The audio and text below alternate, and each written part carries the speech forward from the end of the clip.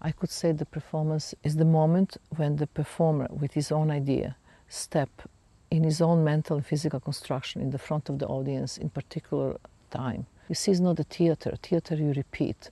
Theater you play somebody else. Theater is a black box. Performance is real. In the theater, you can cut with a knife and there is a blood. The knife is not real and blood is not real. In, in performance, the blood and the knife and the body of the, of the performer is real. It's very hard to make a strong, illuminating, you know, work of art. I'm only interested in the idea I'm really fear about. A really interesting idea who are, who change something or you know or make me learn something. If you do things you like or you have the pleasure, you know, doing it, you never change. You're always in the same pattern and everything's happening the same way again and again in your life. Performance is the kind of unique form of art and is very temporary and comes and goes. And in every society, it's different relation to performance.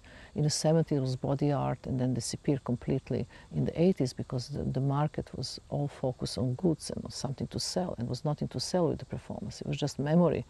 Every time the economical crisis in the world, performance become kind of evident.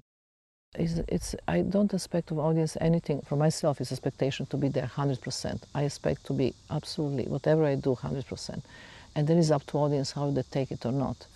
And I would be, I like them to be present because the work is done for the audience. Without audience, the work doesn't exist. It doesn't make any meaning.